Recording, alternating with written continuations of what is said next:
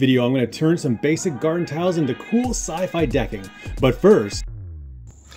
Okay, well thank you, Mr. Amazon Man. Ooh, I just love watching him walk away.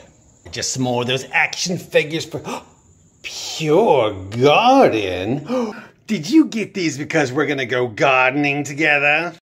I feel like you've known me long enough to know that everything normal that I ordered to this house is used for toys. What about that box of razors? Cargo containers. All those baby wipes? Sci-fi doors.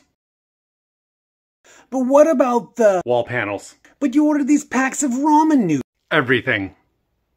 I forgot that for an unboxing you actually need to do the uh, the box itself. So, and I mean, there's not much to say. They're tiles. They look pretty cool. This would look like out of the box. They're really thin and they can interlock together pretty easily.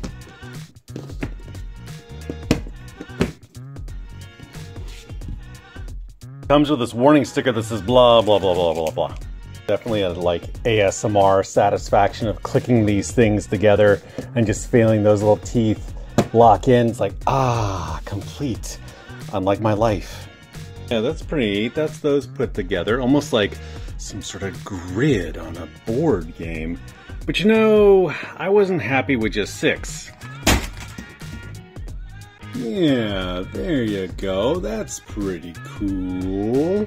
We got some good old deck plating there, and just to give you a perspective.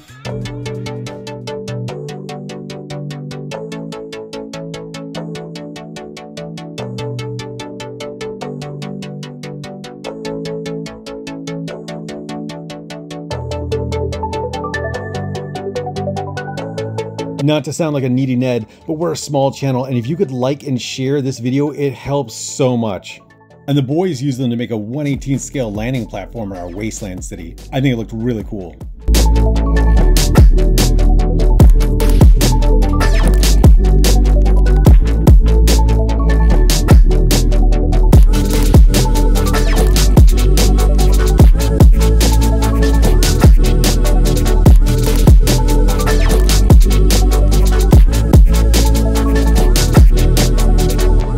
Got these other fish tank tile ones too. They're a little more brittle and a little bit smaller, but they work really well for cool deck tiles or like in here in our ship.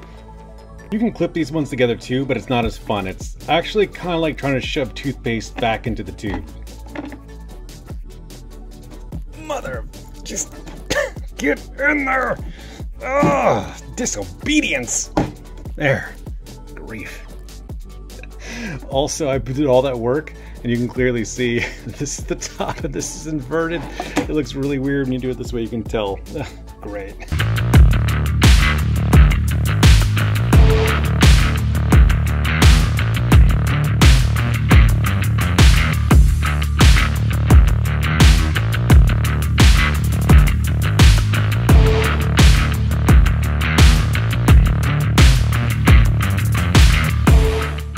Shout out to Jeremy at Frugal Figure Finders. It only took me 18 takes to get that. That is a mouthful of F's there.